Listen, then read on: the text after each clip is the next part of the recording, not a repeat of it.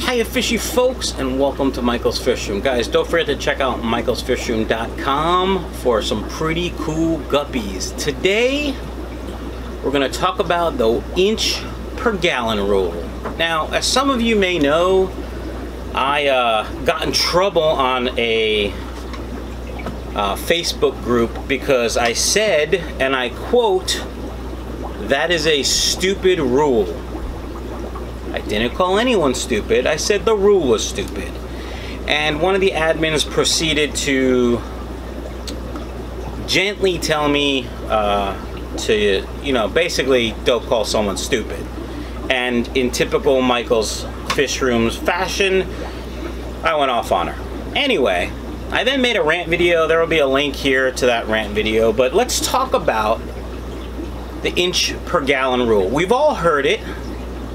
We've probably all been told it, and we might have all followed it at some point early in our fish keeping career.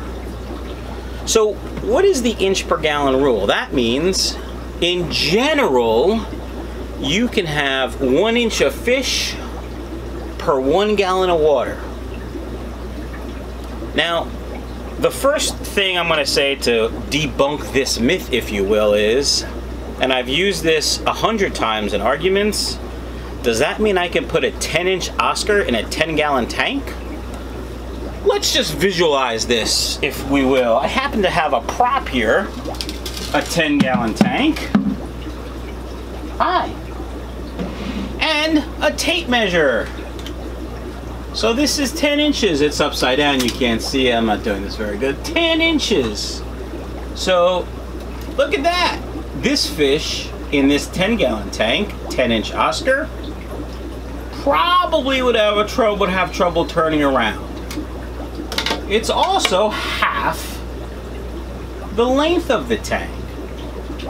But the rule says one inch per gallon. Okay. Myth debunked, if you will. Stupid rule. We've all believed it. Now we know why it's not a good rule. What about if you had 10 one inch Cardinal Tetras in a 10 gallon. That would be okay, but you could probably have 20 of those in a 10 gallon without a problem. Normal water change schedule, normal filtration, nothing, you know, out of the ordinary. But could you have two 5 inch plecos in a 10 gallon? Could you have one 5 inch pleco in a 10 gallon? Could you have 10 1 inch plecos in a 10 gallon? See, the rule just doesn't make any sense. It's not even a good rule of thumb. It's a bad rule of thumb. Let's talk about stocking levels and how do you decide what you can keep in your fish tank. The first thing you need to know is how much water do you want to change and how often? Here's why. In a 10 gallon tank, if you had, say, three male guppies and it was moderately planted, you probably would never have to actually change water. Hold on, let's let's rewind. Why do we change water? Well, quick lesson in fish keeping. We all know, maybe we don't, we all know the nitrogen cycle. Fish poop and pee creates ammonia. Bacteria takes that ammonia and changes it to nitrites, nitrites with an I. Then another bacteria takes the nitrites and uh, converts it to nitrates with an A, nitrates. The reason why we change water, for the most part, is to remove the nitrates. Yes, there are some hormones and some other stuff water changes help remove, but by and large, we change water to remove nitrates. Now, if you have a planted tank, real plants that is, the plants will take in that nitrate and help them grow. That's why in a heavily planted tank or a moderately planted tank that's lightly stocked, that's fed properly, you will actually never ever have to change the water. You'll have to add water due to evaporation, but you probably will never actually have to change water due to uh, nitrate toxicity. Okay, so let's go back to our, our little discussion here. 10 gallon tank, What can you keep in it? It depends on how much water you want to change. I have 100 guppies in a 10 gallon tank. Why? I do 10% water changes daily. That's why. Do you want to do a 10% water change daily? Do you want to do a 50% water change weekly? Sometimes people ask, or people say, I do a 50% water change weekly or a 25% water change weekly. And I, I ask why. And in most cases, they don't know. What you should do, and I learned this from somebody else, Corey from Aquarium Co-op, in one of his videos a couple years back, is measure the nitrate level at a specific time, say one week. When it reaches a specific number, parts per million, 20, 30, 40, whatever it might be, that's when you change water, 50%. Then you measure again until it reaches that specific level that you've set, say 40 parts per million. And that's when you change water. Now, a couple things that, that uh, affect this is how much food are you feeding? I overfeed my fish tanks quite a bit because uh, I want the fish to grow fast so I can sell them. If you feed your tank moderately or lightly, even less pollution in the water, boom, less water changes. So, so far we have how often and how much water do you want to change?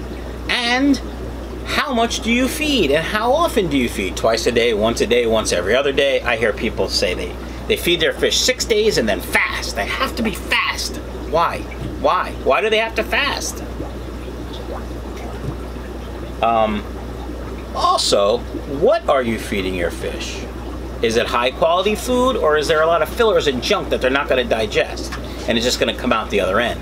All these things you need to take into account when you're talking about the inch per gallon rule. I almost said dollar per gallon because it's always on my head. Inch per gallon rule. All right, fishy folks, that's me debunking the inch per gallon. Now, let's talk about some other factors. What kind of fish are you going to keep? Can you keep two 5 inch discus in a 10 gallon? No, they're not going to be happy. There's not enough space for them to swim. But according to the rule, you can. How about a 10 inch pleco? Certainly no, because the poop will be 20 inches long and you'll never be able to maintain water quality in that tank without doing massive water changes daily. Now, some people, crazy discus people, I don't want to mention their names, Ryan, like to change 100% water, 80% water in their discus tanks daily. They can overstock their those tanks, but they don't because they're discus. Me, I'm looking at this 20 gallon guppy tank. There's probably a hundred guppies in there. It's a 20 gallon, not the 10, but a 20. Some of them are babies, some of them are adults. There's also Java moss covering pretty much the entire bottom of the tank this deep, all that Java moss is sucking up the nitrates. So I have to do, I don't have to do as much water changes. That's why you should keep a planted tank. But 10% water changes daily, heavy feeding, heavy planted, I don't have a problem with nitrates. What if you have a big tank? So let's say you have a 100 gallon tank can you keep 10 10 inch fish in that tank? That equals 100 if I did my math right. 10 times 10. Yeah. No.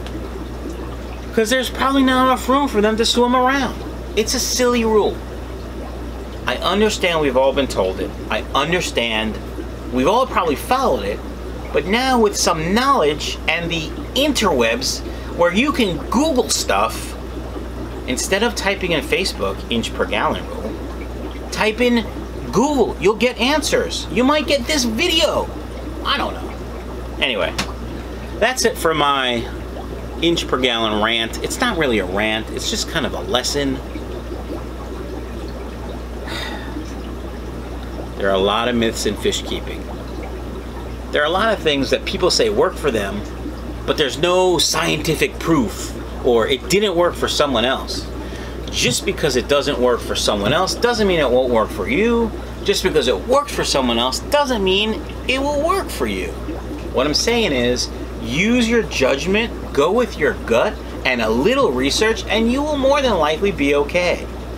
Inch per gallon rule, not a good rule. Don't follow the rule.